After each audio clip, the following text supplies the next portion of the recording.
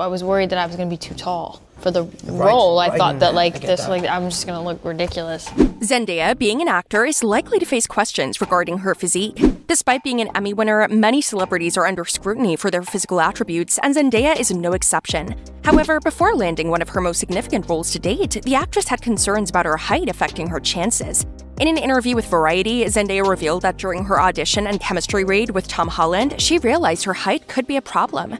She was worried because Holland is shorter than her, and she thought it would be odd since she is super tall. Luckily, they did the audition sitting, which worked in her favor. Her chemistry with Tom Holland was evident, and it triumphed over everything else. Zendaya reportedly stands at 5 foot 10, while Holland is approximately 5'8, according to most sources.